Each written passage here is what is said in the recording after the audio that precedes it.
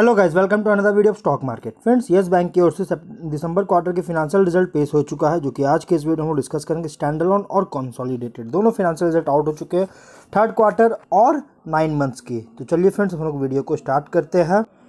तो guys screen पर आपको स्टैंड अलोन फिनेंशियल रिज़ल्ट दिख रहे होंगे लैक्स में नंबर्स दिए गए हैं।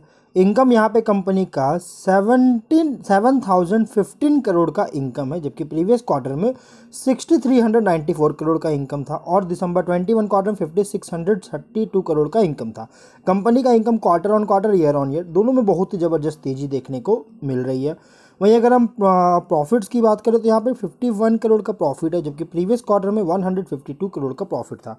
और दिसंबर 21 क्वार्टर में 266 करोड़ का प्रॉफिट था। कंपनी का प्रॉफिट बहुत बड़ा गिरावट देखने को मिल रहा है। इसके साथ साथ कंपनी के ई e में भी गिरावट आई है zero point zero two rupees का। पिछले क्वार्टर पिछले साल की कंपनी में बहुत बड़ी गिरावट देखने को मिल रहा तो गाइस देख सकते हैं कंपनी का जो रिज़ल्ट है, उतना कुछ खास पेश नहीं किया है। यहाँ पे इनकम तो अच्छी ग्रोथ हुई, लेकिन प्रॉफिट उतना अच्छा ग्रोथ नहीं है। बहुत बड़ी डाउन देखने को मिल रहा है, बहुत बड़ी गिरावट देखने को मिल रही है।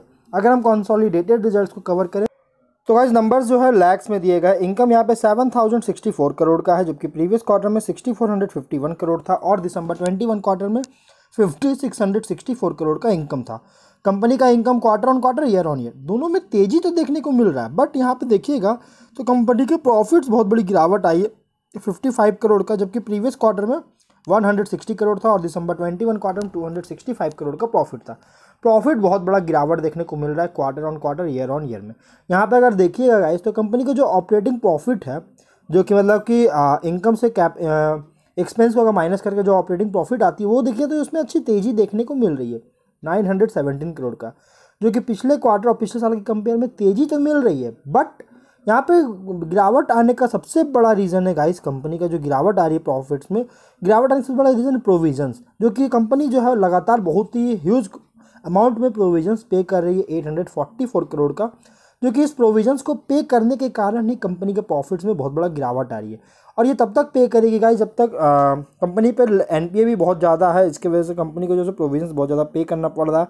लेकिन इस बार एक अच्छी खबर ये निकल के आई है, जैसा मैंने जब पिछले वीडियो इस पर बनाया था येस बैंक पर जब मैंने वीडियो बनाई थी तो मैंने कहा था कि दिसंबर का जो क्वार्टर का जो रिज़ल्ट आएगा, बहुत ज़्यादा इंपॉर्टेंट होगा एनपीए को लेकर। तो यहाँ पर देख सकते हैं, यहाँ पे एन जो है ग्रॉस एनपीए पिछले क्वार्टर में twelve point eight nine percent का ग्रॉस एनपीए था। लेकिन इस बार जिस तरह से कंपनी ने अपना एनपीए डाउन किया है 2.02 परसेंट का, ये एक बहुत ही अच्छी खबर है। मतलब कि कह सकते हैं गुड न्यूज़ है कंपनी के लिए और कंपनी के शेयर होल्डर्स के लिए कि कंपनी अपना एनपीए बहुत ही ह्यूज़ परसेंटेज में ह्यूज अमाउंट में डाउन करती हुई नज़र आई है। तो एक अच्छी खबर निकल के आई है लेकिन यहाँ पे गाइस कंपनी में प्रोविजंस थोड़ा ज़्यादा पे करना पड़ रहा है इसकी वजह से कंपनी के प्रॉफिट्स में गिरावट आ रही है। बट अभी मार्च का जो क्वार्टर है इसी फिनेंशियल के जो आखिरी क्वार्टर फोर का जो रिज़ल्ट होगा बहुत ही ज़्यादा इंपॉर्टेंट होगा।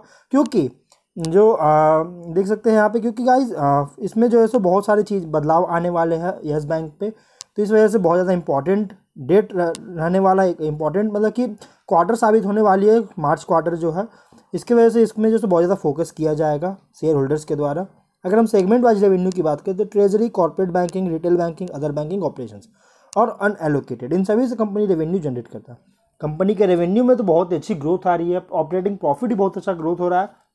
बस प्रोविजंस ज़्यादा पे करने के कारण कंपनी का नेट प्रॉफिट जो है वो थोड़ा गिरावट आ रही है। तो गाइज़ हम लोग जो है वीडियो को कहीं पर एंड करते हैं। अगर कोई डाउट हो कमेंट बॉक्स में पूछिए। मिलते हैं नेक्स्ट वीडियो में। Till then bye bye